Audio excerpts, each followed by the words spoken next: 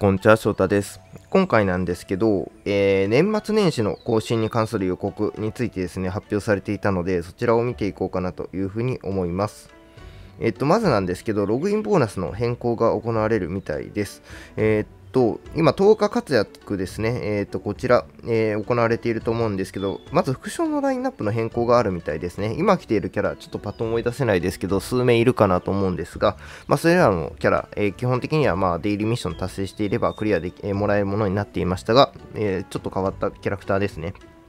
えっと、取れるようになるんじゃないかなというふうに思います。えっと、ちょっと待って。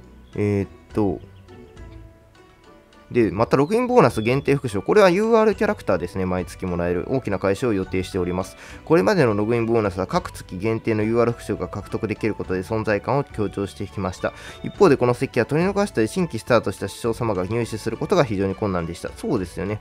えー、そのため奥義や上位レアリティのアバターといった要素を追加できず、存在感の、副賞の存在感は薄くなっています。おー。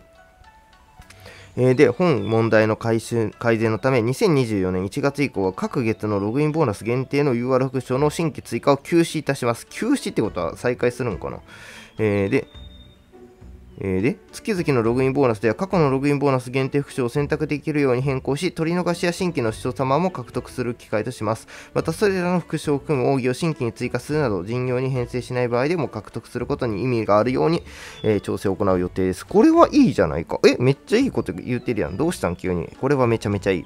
年末年始での、えー、イベント、えー、副賞の紹介がされております。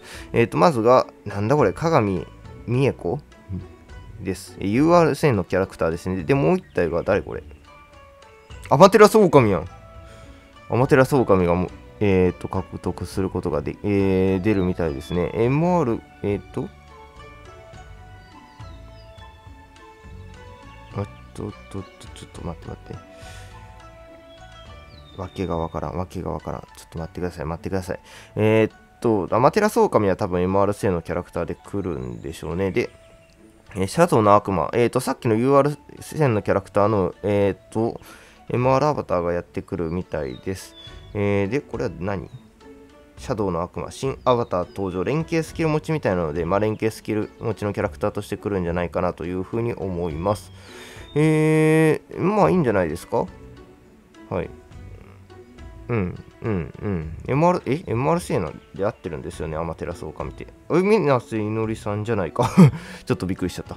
はい、という感じなので、えーと、今年はアマテラスオオカミが年末年始にやってくるみたいですね。えー、恵比寿、大国主と来てアマテラスオオカミという感じで、なんか、やっぱり年末年始は和の感じのキャラクターが来ますね。アマテラスオオカミ、まあ、名前負けしないようなキャラクターが来てくれることを祈ります。まあ、恵比寿は当時は強かったんですけど、大国主はちょっと去年来た段階でもうすでにちょっと微妙な感じだったので、まあ、今年はちょっと強力なキャラクター来てもらえれば嬉しいなと思いました。